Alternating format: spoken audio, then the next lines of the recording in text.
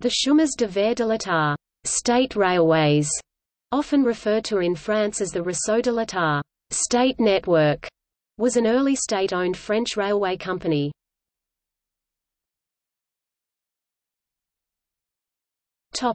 History The company was established by state order of the Third Republic on 25 May 1878 to take over ten small failing railway companies operating in the area between the rivers Loire and Garonne.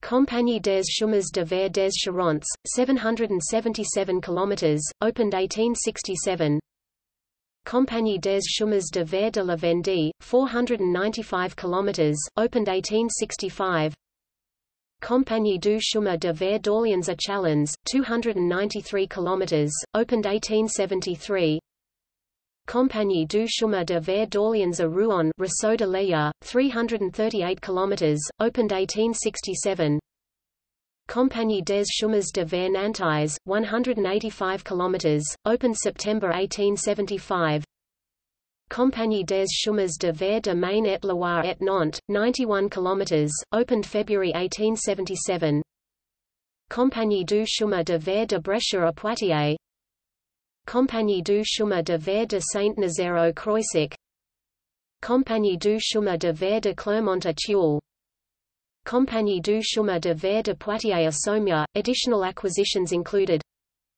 Compagnie Bordeaux, La Sauve, 29 km, opened May 1873, acquired by CF des Charentes in June 1874, sold to the PO in 1883. Compagnie de la Cèdre, circa 50 km, opened 1874, acquired by EAT July 1880. Compagnie Barbezieux, Châteauneuf-sur-Charente, opened 1872, acquired by EAT in 1893.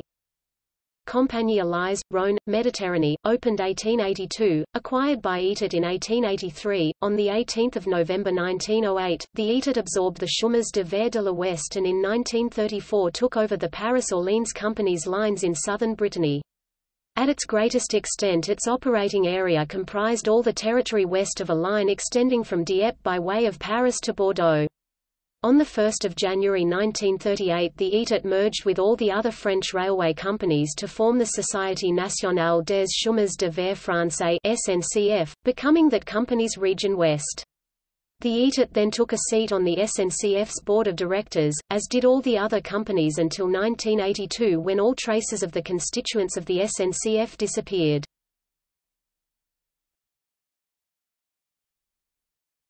Topic: Ligne Paris-Bordeaux One of the PO's flagship lines was Paris-Orléans-Bordeaux. The EATIT wished to create a competing line to the PO's. The PO line served Tours, Poitiers, and Angoulême, while the EATIT decided to serve Chartres, Courtalain, Saumur, Niort, and Saintes, almost parallel to the competing line.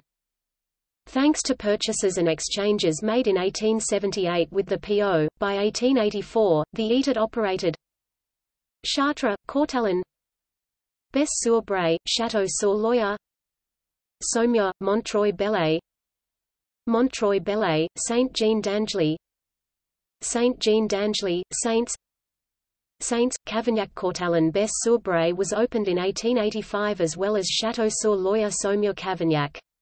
At Le Grave-d'Ambers a junction with the PO was built, and ETA trains linked Paris and Bordeaux on of July 1886. The last line portion was the hardest to build. On 1 July 1893, an extension via Lormont was opened. Three years later, on 1 August 1896 Bordeaux ETIT was opened, welcoming trains from Paris. The ETIT's line was 610 km while the PO's was 582 km. These were the only competing lines in France. This lasted until 1938, date of the creation the SNCF, when the PO line was kept.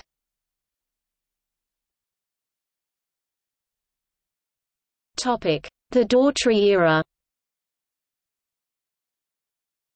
Raoul Dautry became managing director of the ETIT in 1928.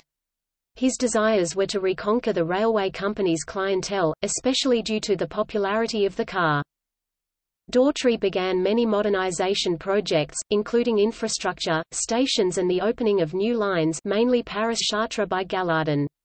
The electrification of the Paris-Le Mans line represents the biggest of his constructions. The line was at the time the most modern line in France.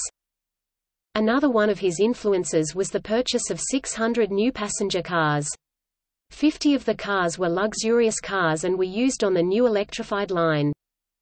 As early as 1929, the ETIT began experimenting with DMUs with a first order of Renault trains. In 1931, an agreement is reached between Michelin and the ETIT, authorizing trials of the Michelin train. By 1933, the trains were used for expresses between Paris and Deauville. During the summer of 1937, the French government ruled in favor of the nationalization of the French railways.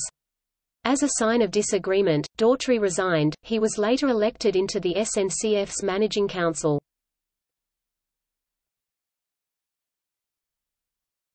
Topic. Line openings